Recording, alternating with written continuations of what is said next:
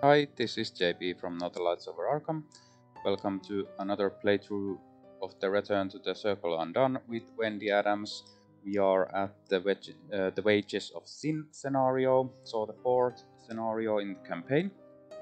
Uh, again, I didn't do that much changes into my deck because I only had two experience, so I won't pull up the deck list onto the video. If you are interested, you can check out the deck list in the video description. I will add a link there. Uh, the only change is that I upgraded one of the Alter Fates from level 1 to level 3, so now it's a fast event and costs only one uh, resource to play. So that is the only change into the deck from the last scenario. Uh, there are some changes in the uh, Wages of Sin scenario for the Return to Circle Undone campaign. Uh, one being that uh, now we have a because we um, did um, or Erin wants to meet uh, ending in the witching hour.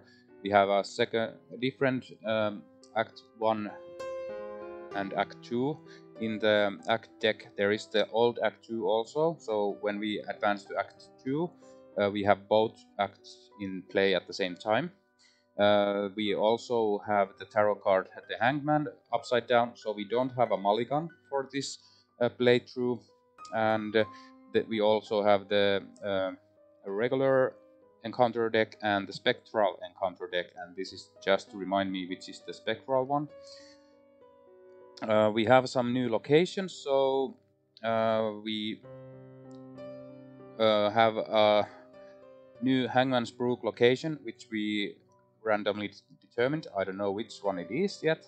Uh, also, we got some new heretics, so when we uh, add the heretics onto the table, we have two new heretics in the pool of, and, and the pool is now eight, so we pick four of those eight. I already randomized them and they are uh, over here waiting for the advancement of the uh, act. But yeah, that's basically it. of course, we added um, black book into the into Wendy's deck, so we have one extra skull token in the chaos pack. But that's basically it. So without further ado, let's get started.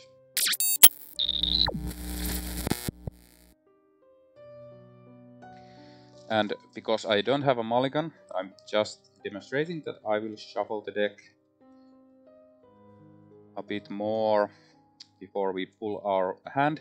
And to remind you, each weakness we pull, we can't uh, re-pull them or redraw cards instead of them. We have to resolve them immediately. So hoping we don't get uh, too badly screwed right at the get-go.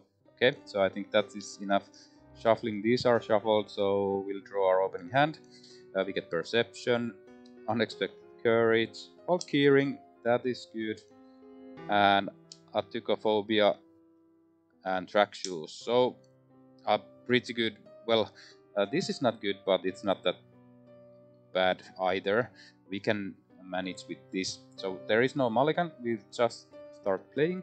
So immediately I will play keyring.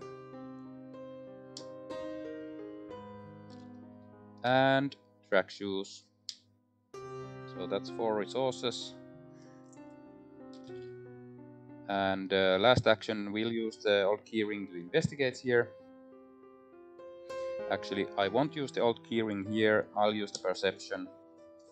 So we are investigating uh, let's use the old keyring too. So investigating 4 versus uh, 2 or, or 5 versus 2 actually. Hoping to pass this. It is a 0, so we'll grab this clue. And that is our turn. Uh, we also draw a card from the perception, another unexpected courage. And that is our turn. No enemies will go to upkeep. We draw a card. Uh, we also lost one here uh, we get the uh, level 1 Alter Fate, which is not that good, but it is okay. Uh, we can't use this to get rid of a non a weakness treachery, so there's that. But it is what it is. Well, that is the first turn. Let's go to the next turn. We add a Doom, uh, one of eight. Encounter card for this turn is uh, Unhallowed Land. Test Agility 5. For each point you fail by discard the top card of the encounter deck. If a curse treachery is discarded by this effect, deal one direct horror to your investigator and to each of your ally assets. Okay, I'm just testing it. Uh, 5 versus 5.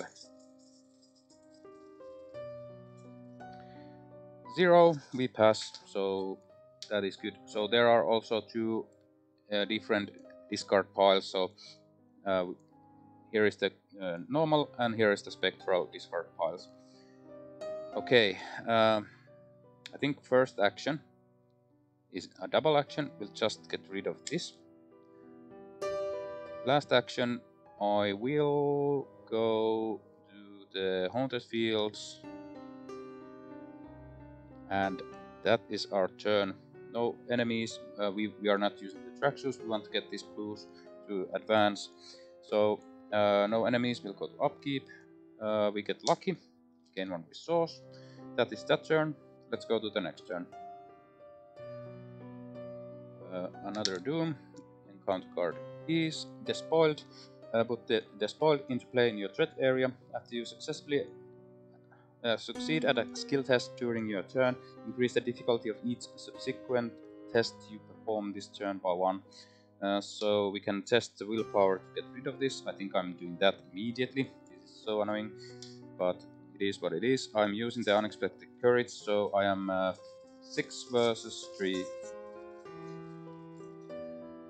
It is a skull, and skull is X. X is the highest, uh, higher than the number of copies of unfinished business in the. Okay, so it's a zero. So this is uh, discarded. Second action, we are investigating. I'm uh, using the old keyring, so I'm investigating uh, 3 versus 1.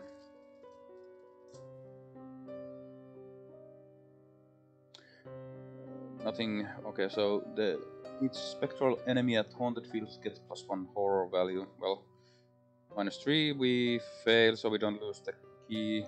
So last action I'm just doing the same thing again. Or uh, actually, uh, minus 3 uh, we are at uh, 3 versus 1, so we go to 0, so we can lucky it. So I'm using the lucky to grab the clue, so this also goes.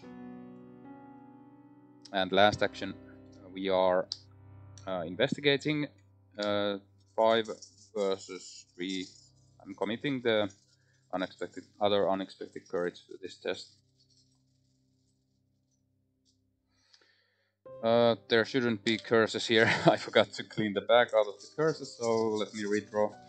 Um, minus 2, so we are good. We are just on target. So let us see. I will add advance at the end of the round. So uh, no enemies will go to upkeep. We draw abandoned and alone. Our discard is destroyed. There goes everything. We'll take uh, two horror. And yeah, we'll gain one resource. And at this point, I will use the three resources to advance. So uh, let's see.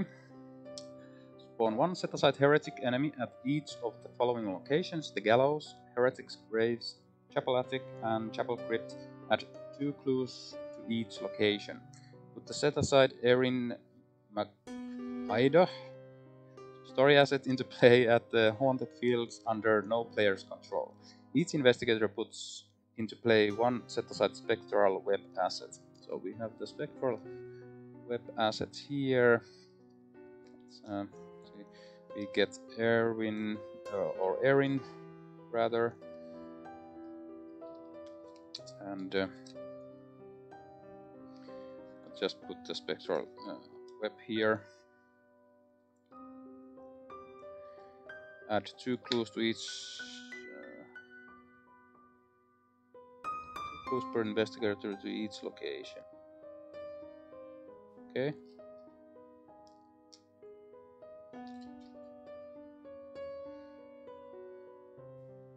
There is no upper limit, so just get a ton of clues everywhere.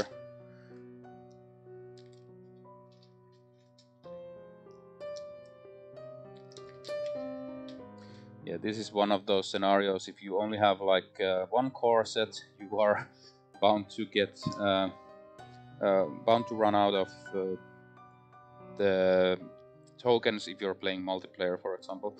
But I'm just I have just enough uh, for solo playing.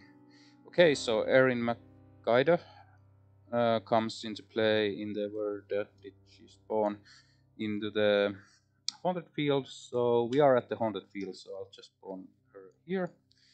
Just mark that uh, she is this icon to be clear. So three secrets. Um, I don't know how, if we can use her uh, because she's not under our control. But yeah, um, we spawn the heretics, so they spawn here, here, here, and here.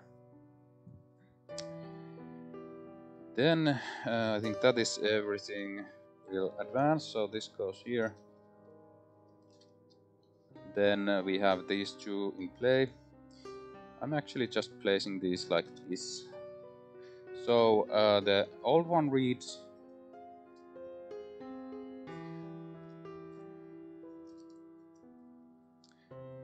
Old one reads uh, fast trigger flip your lo location over, group blind once per round at each location. Clues cannot be discovered at non-spectral locations. Objective banish as many heretics as you can there are four copies of Unfinished Business in the victory display advance, and the unfinished businesses are behind these heretic cards. Uh, but the new one reads uh, uh, free triggered ability when you would banish a ghost, you may instead place it beneath Erynn MacAoidh uh, heretic side face up. Action. If you are at Erynn MacAoidh's location, spend one clues per investigator parley, choose a heretic beneath her and place it beneath this act. Uh, objective help Erynn find answers by placing heretics beneath this act. If there are three beneath this act, advance. So, still, it, this isn't an easy scenario in any way. So we'll see how well we do, but not having my hopes up. So that is the uh, turn. Uh, and let's go to the next turn. We are at uh, 3 of 8 Doom. Encounter card for this turn is still from the normal deck. Uh, ominous Portents. Uh, Peril Revelation. You must either choose one, draw the top card of the Spectral encounter deck, this card Kane's Peril, and its effects cannot be cancelled or test. Willpower 3 if you fail, take 4. Uh, I have willpower 4. I'll take the risk and test it. I'm actually committing this. So 5 versus 3. It is a skull, it is a 0, so we're good. And our turn is to... Mm, let's see. So, uh, just to refresh our memory, mm, the heretics are 4, 5, 2 health, 3 evade monster guys which Spectral Elite Heretic gets plus 2 health per investigator. Uh, while Heretic is at a non-spectral location, it gains aloof and cannot be engaged or damaged. Uh, free action spend, one clue, parley, look at the Heretic's other side without resolving its text. Forced after Heretic is, is defeated, flip it over and resolve the text on its other side. So, uh, we for one are really bad at defeating these enemies.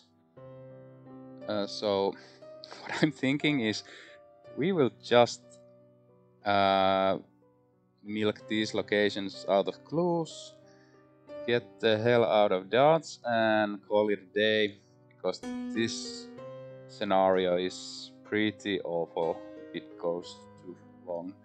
So, uh, saying that, I think we will start by... Where is our hand? Oh yeah, we don't have a hand. I think we start by uh, flipping this location. So, um, Haunted Fields uh, is a 3 strat location. Each spectral enemy at Haunted Fields gets plus 1 uh, horror value. Haunted move the nearest spectral enemy once towards Haunted Fields. And uh, we are investigating 3 versus 3, but I... Was it the 3 action? Yeah. So, first action, draw a card draw a card, lockpicks, okay, and uh, we'll just um, we'll try to inv no because those heretics move if we fail. So oh yeah, um, could use the spectral web to fight. We just need a ton of clues, but yeah, I think that's there's no point. Uh, yeah, we will just draw another card. So letter code, that is our hand. Uh, no enemy actions will go to upkeep. We draw a card. We get a test of will, which is really good, and we gain one resource. So that is that turn. Let's go to the next turn.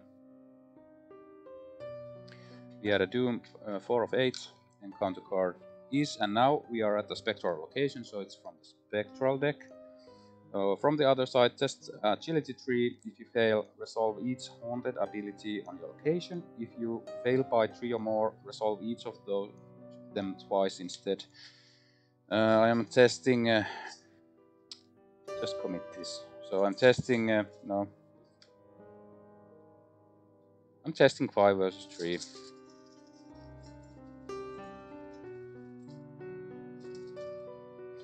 It is a plus one, so nothing happens. Uh, first action we'll play lockpicks.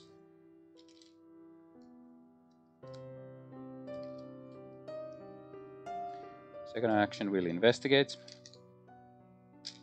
using the lockpicks.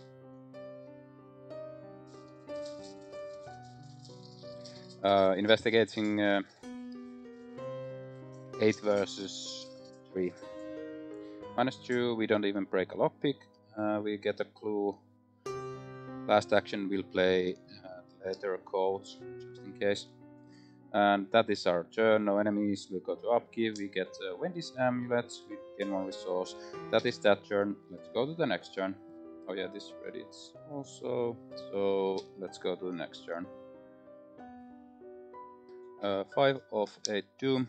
Encounter card is bloodthirsty spirits. Um, put bloodthirsty spirits into play in your threat area. While your location is haunted, as an additional cost for you to commit one or more cards to this skill test, you must resolve each haunted ability on your location first. At the end of the turn, test willpower 3 if you succeed discard bloodthirsty spirits. Uh, we just ignore that. Uh, I will use the lockpicks. Investigate.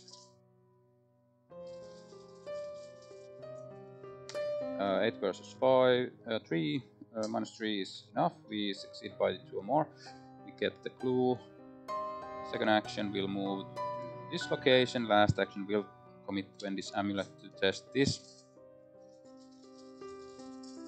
So 6 versus 3, 0, we get rid of this one, that is our turn, no enemies, we go to upkeep, we draw a card, Waylay, gain one resource. That is that turn. Let's go to the next turn. We add another Doom. So 6 of 8 encounter card is. And uh, this is uh, a regular location. So Witchweed uh, Peril Revelation. If Witchweed is drawn from a standard encounter deck, shuffle it into the spectral encounter deck.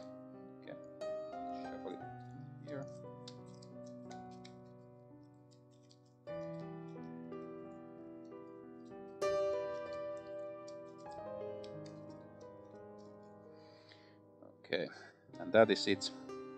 First action, we will use the lockpicks to investigate. Uh, sorry, we'll uh, have to first flip this location over. So, 2 Shroud 0. During your, the Mythos phase, each investigator at Abandoned Chapel gets minus 1 to its skill haunted. Until the end of the round, you get minus 1 to its skill. Okay, and we just want the clues and get out of here. So, 8 versus 2, up by 6. Uh, skull is uh, minus 0, so we'll grab a clue. Second action, we'll just investigate without trying to use anything to help us. So, uh, 3 versus 2, minus 1. We'll do that again.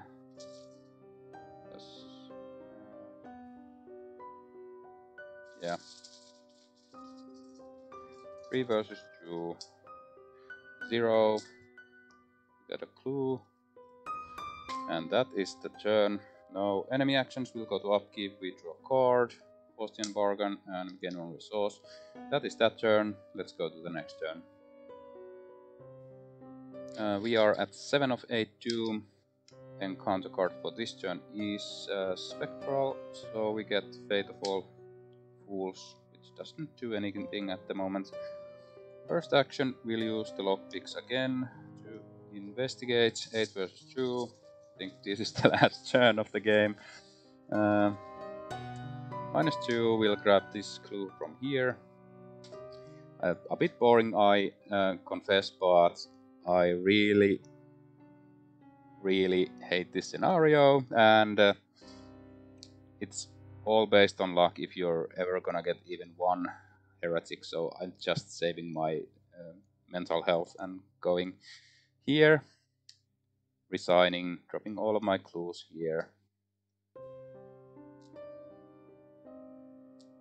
And that is our game. So, a bit boring, but we got two experience out of this. That is enough to upgrade the other um, Alter Fates. And next up, we have the one of my favorite scenarios from this campaign, which is the for the greater good. I'm really, really excited to see what changes are have been made to that scenario because it didn't have that many problems to begin with, and it was enjoyable uh, right from the get-go. But we'll see. So hope you guys like this playthrough. Thanks for watching, and until next time.